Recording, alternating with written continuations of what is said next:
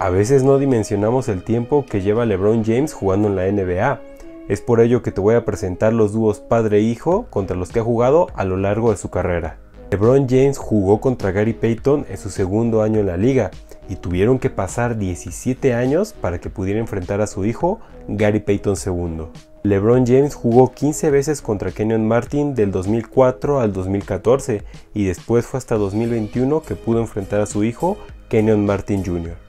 La siguiente pareja es Gary Trent y Gary Trent Jr. Con su padre solo pudo jugar dos veces, pero con su hijo ya ha jugado en múltiples ocasiones.